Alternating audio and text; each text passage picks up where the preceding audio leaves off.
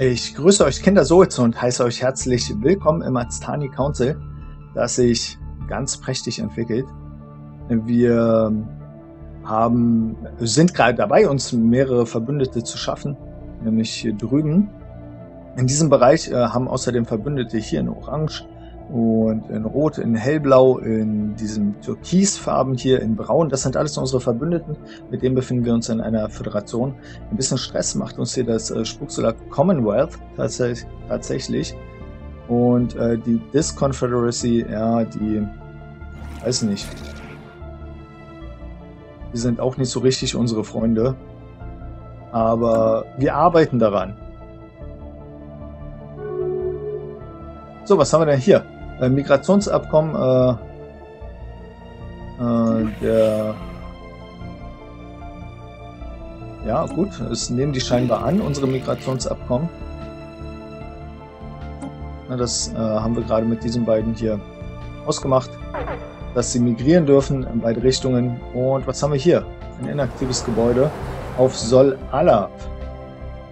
Hier sieht es auch ganz schrecklich aus eigentlich. Und hier wird gerade noch gebaut. Wir haben noch genug Nahrung, ähm, haben aber gar nicht genug Leute, um hier alles zu besetzen im Prinzip. Ähm, das ist ja problematisch, mehr oder minder. Ähm, ja, kann ich jetzt nichts machen. Ist halt unbesetzt, ja. Scheiße. Und das äh, Titan Covenant und... Ach, guck mal, hier. Die haben hier gerade Frieden geschlossen. Ein, ein, ein Nicht-Angriffsversprechen haben die gerade abgeschlossen. Das finde ich sehr gut. Können wir das vielleicht auch mit denen irgendwie? Oder Wurmlochstationszugang austauschen wollen die noch nicht. So viel vertrauen die uns noch nicht. Wie es aussieht.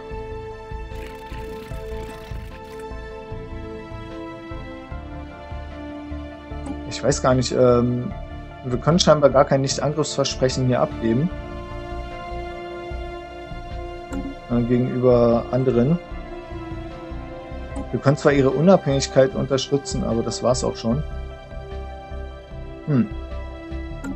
Keine Ahnung, was da los ist, warum das nicht funktioniert. Ja, inzwischen warten wir halt, dass sich hier alles so ein bisschen entwickelt. Wir beobachten Kimita ab und zu mal so ein bisschen, um zu sehen, wie sich hier die Grenzen verschieben.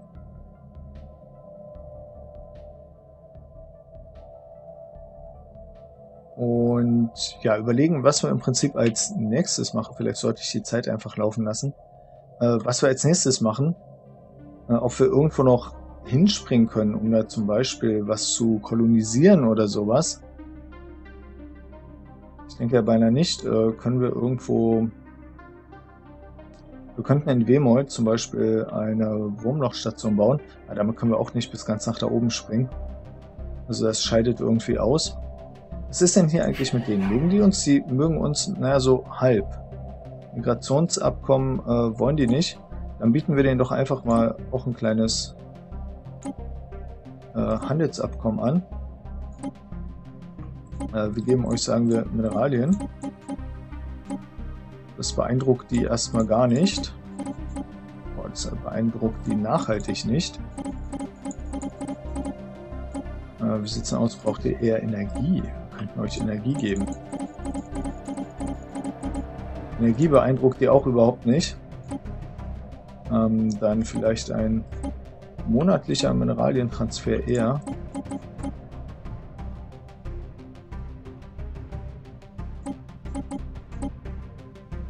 Ja, so viel will ich dem monatlich eigentlich gar nicht geben.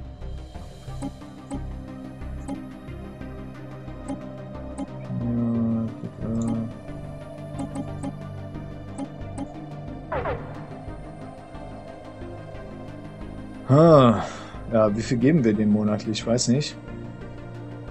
Eigentlich nicht mehr als 30, würde ich sagen. Wo ist denn hier die Grenze zu 2? Vielleicht orientieren wir uns eher daran. Äh, sagen dann, ja, gibt uns doch ein bisschen Energie einfach. Mhm.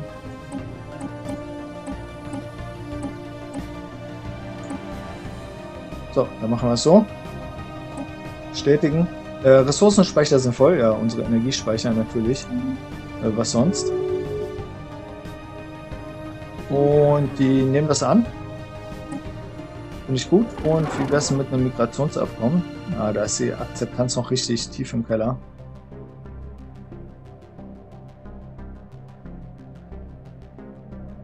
Construction complete. Hm. Na gut. Äh, auf Davi Alab wurde alles fertig gebaut.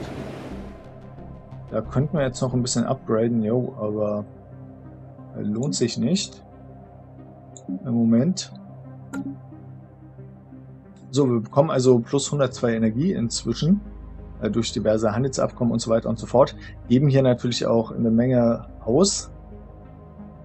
Äh, da waren wir schon bei über 400 Mineralienproduktion. Aber gut, ist jetzt auch nicht weiter schlimm. Ich meine, wir haben gut gefüllte Ressourcenspeicher, die füllen sich auch recht schnell wieder. Da müssen wir uns keinen Stress machen. So, wie sieht's denn aus? Das äh, Struktur Commonwealth. Sind die irgendwie, die sind uns ebenbürtig. Äh, wahrscheinlich genauso wie die Disconfederacy. Ja, die sind uns auch ebenbürtig, sind uns gegenüber unfreundlich. Ich weiß nicht, ob wir uns das gefallen lassen sollten. Andererseits, was sollen wir dagegen machen? Wir sind Pazifisten.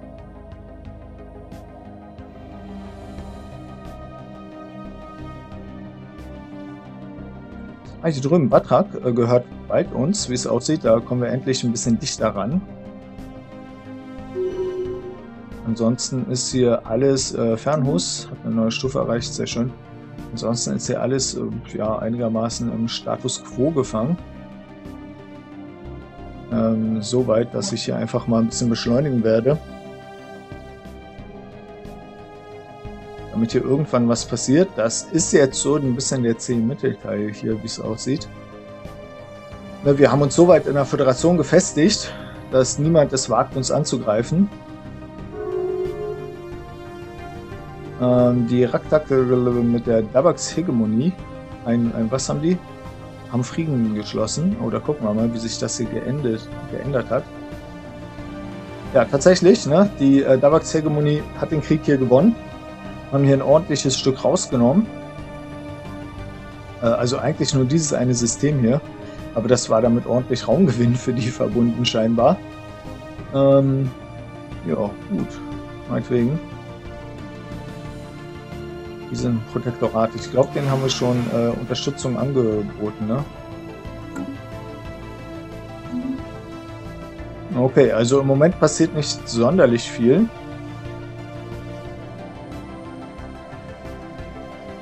Und wir können im Moment auch nicht sonderlich viel machen, außer hier so ein bisschen auf unseren Händen zu sitzen.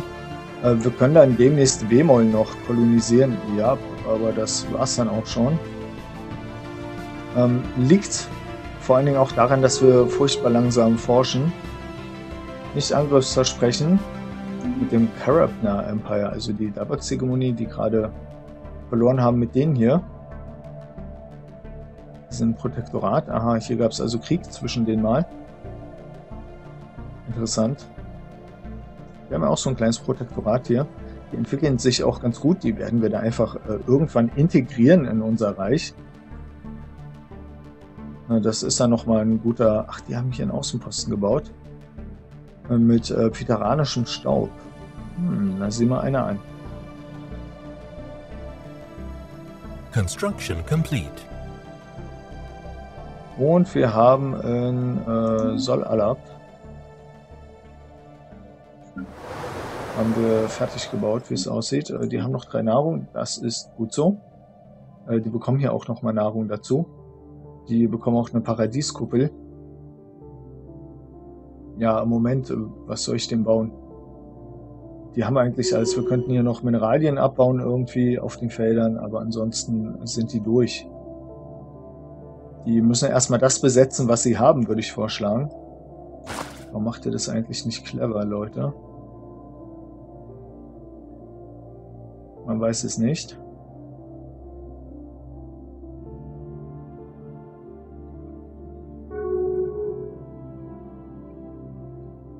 Da läuft ein Handelsabkommen ab. Da müssen wir mal gucken. Äh, Nuvol hat eine neue Stufe erreicht, finde ich gut. Äh, mit dem Anathurian Empire. Oh, da müssen wir mal gucken. Ähm, die sind relativ wichtig für uns.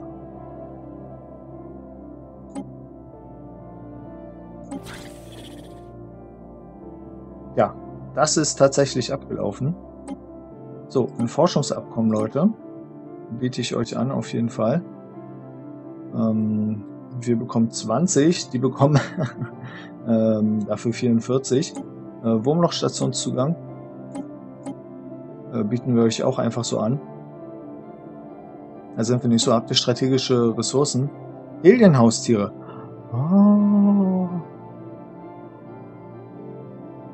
Wir haben Alienhaustiere. Ich höre auch Alienhaustiere.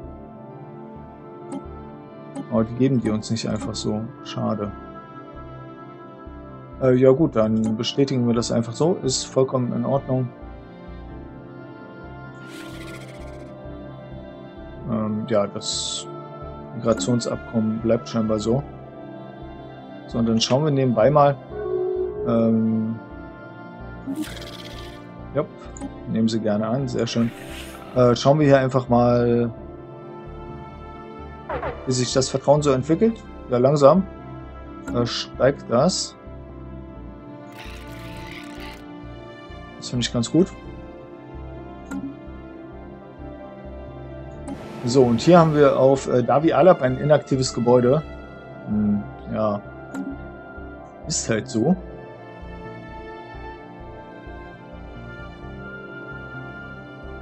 Aber irgendwie, es passiert gerade trotzdem gar nichts. So ein bisschen Flaute. Da kann ich auch ruhig noch ein bisschen schneller hier vorgehen.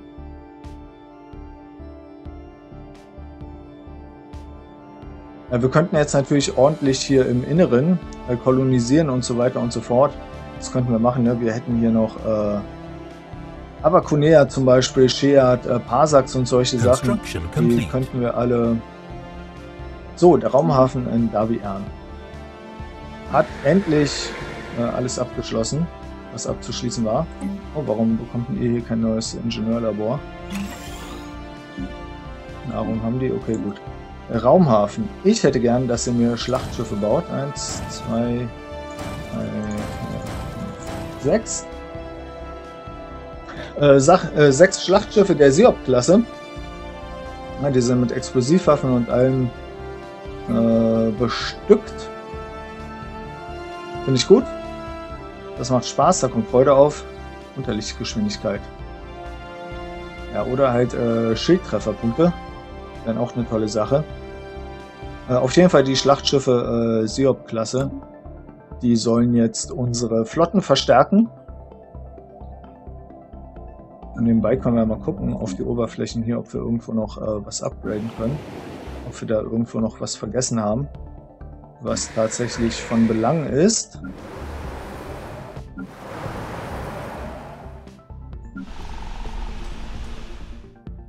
Wahrscheinlich nicht. Auf Markup, die bauen auch noch.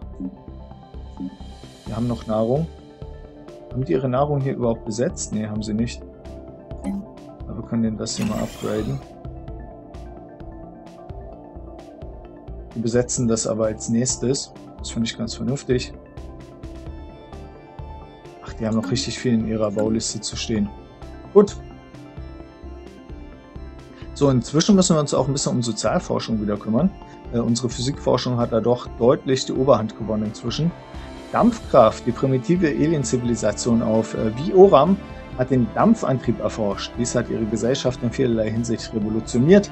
In ihren Städten sind bereits Fahrzeuge und Maschinen zu sehen, die mit dieser Technologie angetrieben werden. Hier und da sind auch die ersten Fabriken zu sehen. Diese Welt scheint kurz vor der Industrialisierung zu stehen.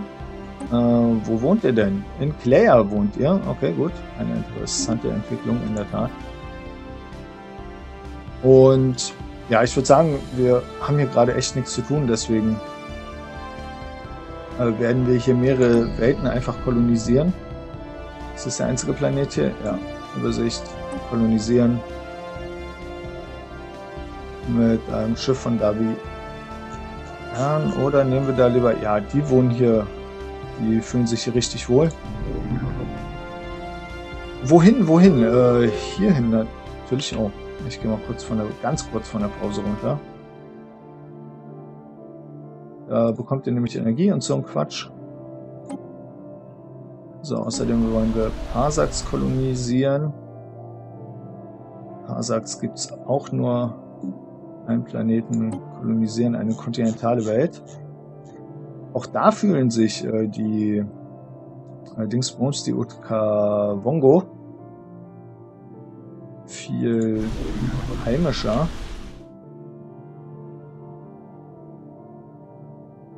Hm, wir bauen euch das hier auf so ein Nahrungsfeld.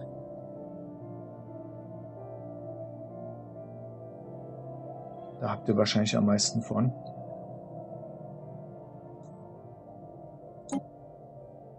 So, Parsaks, Shared und äh, Avakunea.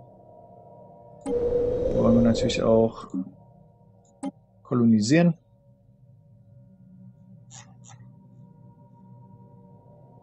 Ja, zum Glück haben wir die hier. Da können wir auf, auf Iblin auch gleich mal neue Schiffe in Auftrag geben. So, der Rest, das sind alles kolonisierte äh, Planeten bzw. Systeme, wo wir da noch eine Zweitkolonisierung vornehmen könnten. Zum Beispiel in Shinnik oder so gibt es noch eine ja, relativ große Wüstenwelt sogar. In Kazoo gibt es eine kleine kontinentale Welt noch, in äh, Claire noch eine kleine Tundra-Welt. Hier gibt es noch eine große Tundra-Welt in Mernatz tatsächlich. Ja, das können wir alles noch besiedeln irgendwie. Ähm, das soll jetzt hier erstmal so reichen. Raumhafen, äh, Kolonieschiffe. Die sind xenophob. Warum seid ihr denn so xenophob, Leute? Was ist denn da los? So, Asani State und die Zom Republican Systems haben sich ein Nicht-Angriffsversprechen geliefert. Mhm.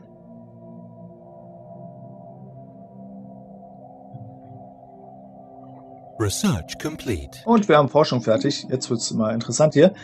Kraftwerke, yeah. Das finde ich sehr gut. Äh, Quantenüberlagerung von Energiespuren, die simultan eingeladen, was? Simultan geladen und entladen werden können. Ja, finde ich gut. Äh, planetare Schilde. Da können wir einen planetaren Schildgenerator bauen. Montagealgorithmen, Schildkondensatoren, äh, Photontorpedos. Oh mein Gott, Photontorpedos. Ja, planetare Schilde. Also falls mal wirklich irgendwie, ähm, falls uns jemand angreifen sollte, wäre es natürlich super praktisch. Ich glaube, wir, wir nehmen die auch mal. Die hat auch sonst noch niemand bei uns in der Föderation. Ja, Photon-Torpedos allerdings auch nicht. Äh, ach, Proton, nicht Photon. Ach, lesen müsste man können. Äh, Proton-Torpedos sind das. Was steht denn hier? Diese Energietorpedos besteht aus dicht konzentrierten Protonen und können Deflektoren oder Schildsysteme gänzlich durchdringen. Finde ich gut. Äh, Reichweite 100 auf dem L-Slot. Ich glaube, unsere haben derzeit 120 auf dem L-Slot, die Panzertorpedos. Äh, die hier dürften aber sehr viel mehr Schaden machen.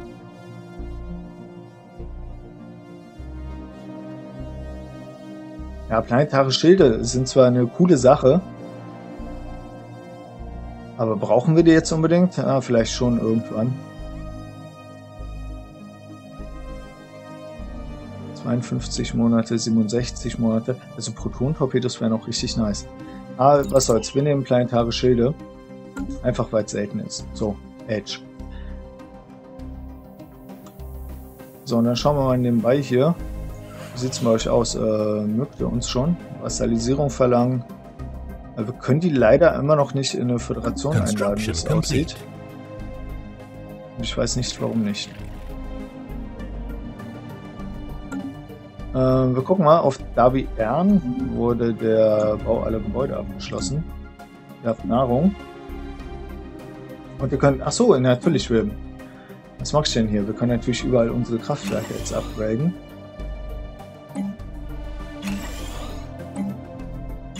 Klarer Fall, das dürfte uns 3 Millionen Energie geben. Die brauchen wir vielleicht auch, wenn wir jetzt unsere Flotten ausbauen. Achso, das ist jetzt plötzlich rot. Das ist ein bisschen verwirrend.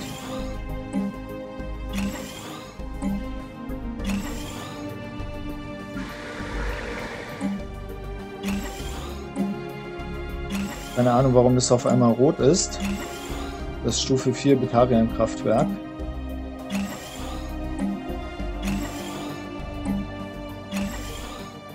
Aber so ist das jetzt. So, hier hatten wir schon geupgradet. Ah, warum habt ihr hier ein normales Kraftwerk? Wir haben doch noch Getarianstein übrig, oder? Ja, zwei.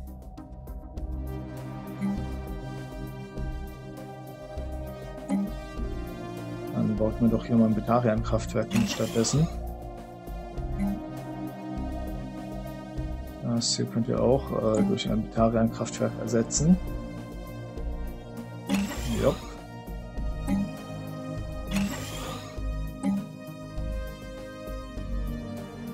Ja, was soll's, den Rest, den äh, upgraden wir erstmal.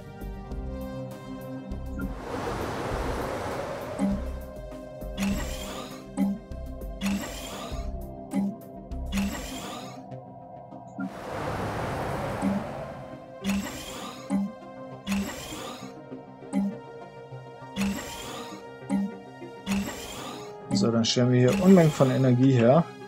Ich lasse mir halt im Hintergrund weiterlaufen.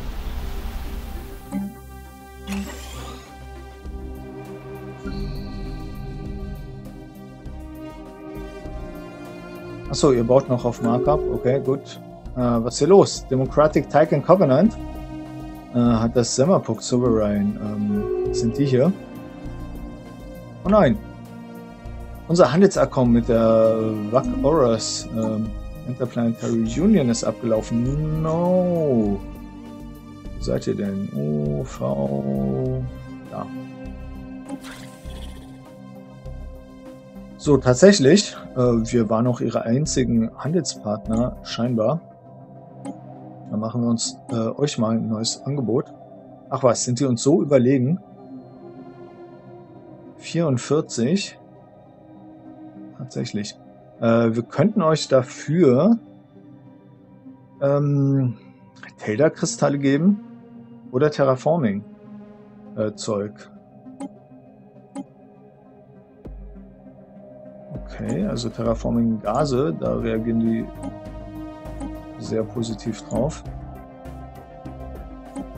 Taylor-Kristalle auch. Äh, wovon haben wir denn richtig viel?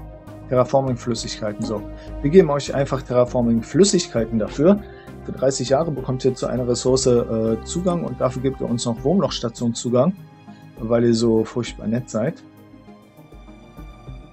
Außerdem könnt ihr uns natürlich äh, noch ein paar Mineralien geben, oder? Äh, ja. Okay, gut. Ähm, obwohl, das bringt ja nichts, wenn wir die so schwächen. Äh, dann machen wir es einfach so.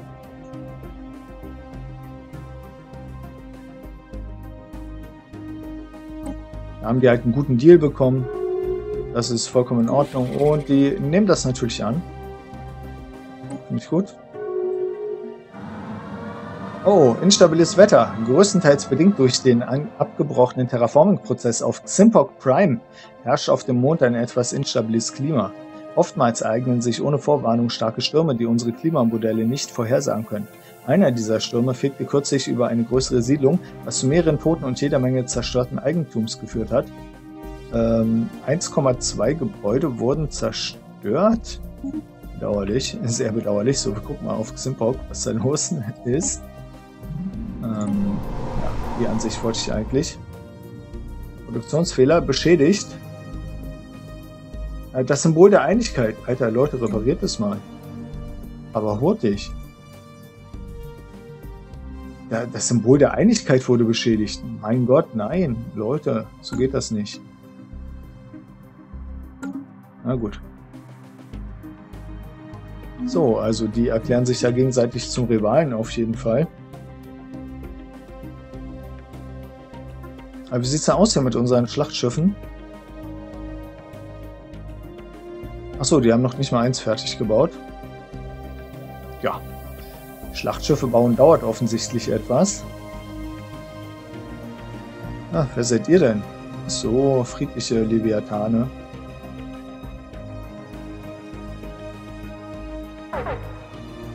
Ups, was ist jetzt los? Auf Sol Anace. Ja, hm, nicht genug Einwohner halt. Kann man nichts machen.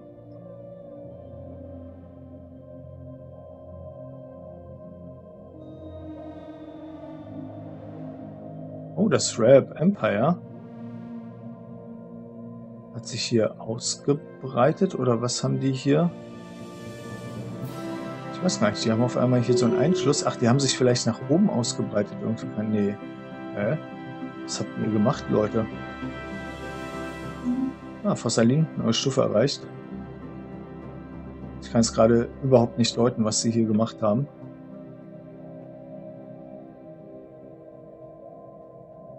Jeden Fall hat sich ihre Form geändert.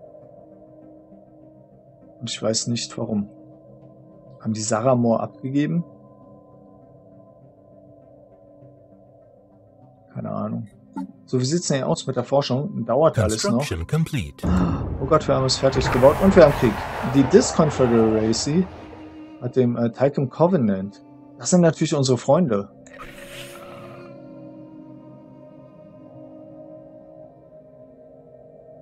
Ja, was geben wir denen denn? Ähm, zehn Mineralien geben wir denen monatlich. Äh, die sind uns ebenbürtig. Eine gute Beziehung zu uns. Und die sind uns auch ebenbürtig. Also das äh, könnte ein interessanter Krieg werden. Der könnte tatsächlich interessant werden. Ähm, hm.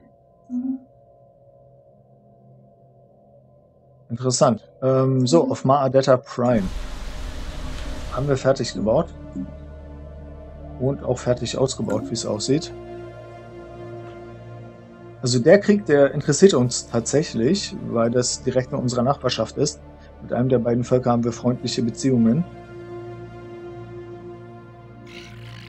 So, wie sieht's aus? Habt ihr nicht Lust irgendwie? Ich würde die super gern in die äh, Föderation einladen.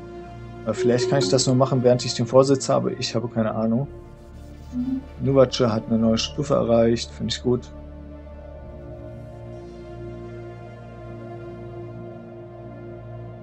So, hier haben wir die äh, Kempler Republic. Äh, ziemlich isoliert, ne? Also das Gebiet haben wir jetzt hier tatsächlich abgetrennt. Haben wir ansonsten noch irgendwas erreicht? Nee. Sieht nicht so aus, ne? Nach Osseck können wir nicht vorstoßen irgendwie.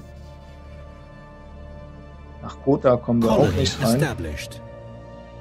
Und wir haben eine äh, auf Avaconea eine Kolonie gebaut. Die gehört schon im Sektor. Deswegen können wir das jetzt nicht weiter beeinflussen. Und Krieg. Äh, die Krabner Seller Grand Duchy oder Duchy hat mit dem Raktak Neck Empire, warte mal, die sind hier oben irgendwo. Ich würde gerne rauszoomen, danke. Ähm, hier sind die ein und die Grand Duchy, Duchy ist äh, hier drüben.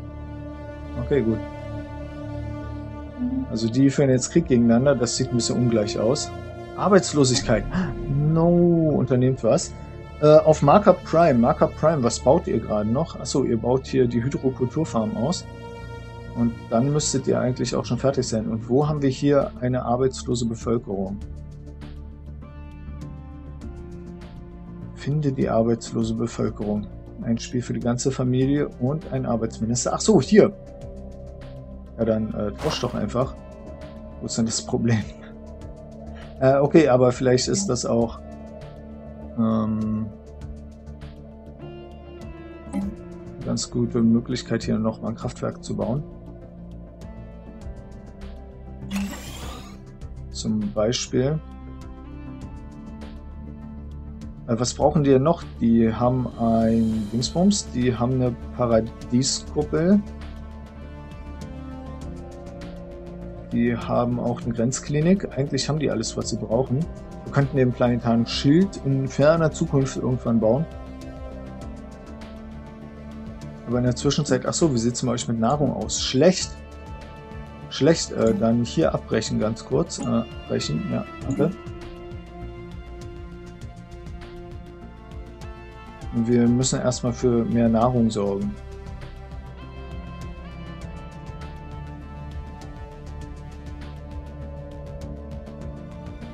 hatten wir hier schon eine planetare Hauptstadt. Äh, besser es nicht.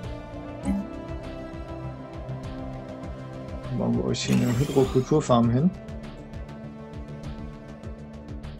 Und welche Bevölkerung wächst hier am schnellsten? Ihr wächst am schnellsten, wie es aussieht.